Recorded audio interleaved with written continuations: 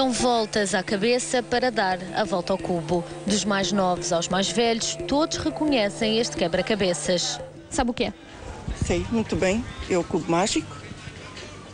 Eh, os meus filhos tiveram um em pequenos, o meu marido trouxe, penso que da Suécia, não existia ainda em Portugal. E, Qual foi a reação?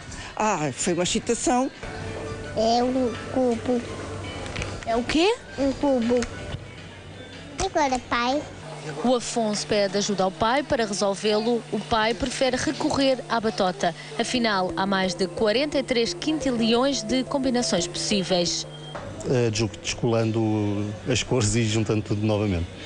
Este continua a ser o cubo de Rubik mais requisitado, o original 3x3.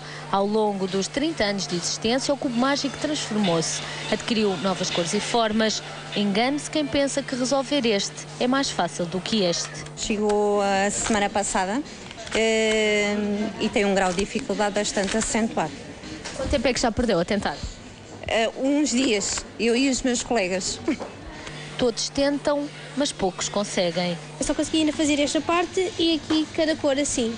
Mas a outra parte não consigo fazer porque depois tenho que baralhar tudo e volta tudo ao início. É preciso chegar um matemático munido de instruções para em 5 minutos conseguir resolver o enigma.